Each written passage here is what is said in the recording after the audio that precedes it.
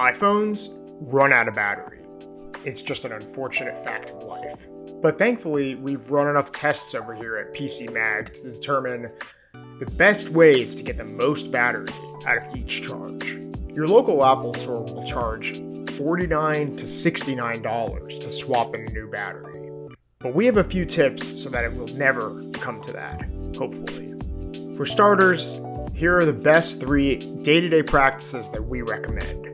Number one, avoid extreme temperatures, both hot and cold. They're just a no brainer. You never really want your phone out in the heat, you never really want your phone out in the cold. It's just not good for the lithium ion battery. Number two, minimize the amount of time that your battery spends at 100% or 0%. Either end of the spectrum's no good for a battery to spend too long at. And number three, lastly, forget those fast chargers. Those things are convenient, but they will ruin your battery way faster than any other method. There are all kinds of settings in your iPhone that can be turned off as well to save on battery life, the most obvious of which are location services, Wi Fi, Bluetooth, AirDrop, or just turning on airplane mode completely and obliterating them all.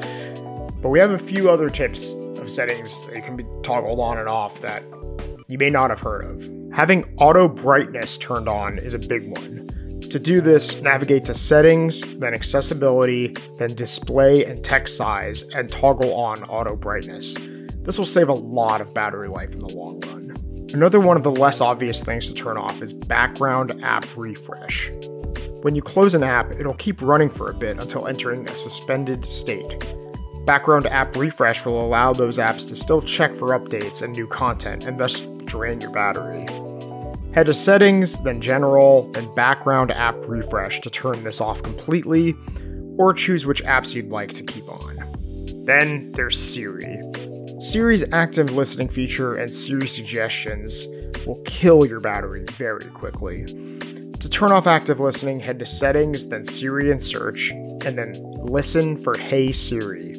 And under Siri suggestions, which I've never used, you can toggle which ones you want on and which ones you want off.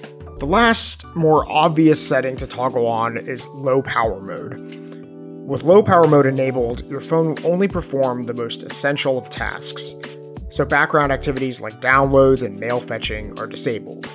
Low power mode will automatically kick in when the battery falls below 20%, but you can also activate it manually to keep your phone going for longer, though it'll only work if your phone's battery is below 80%. Head to Settings, then Battery, and then Low Power Mode to toggle it on.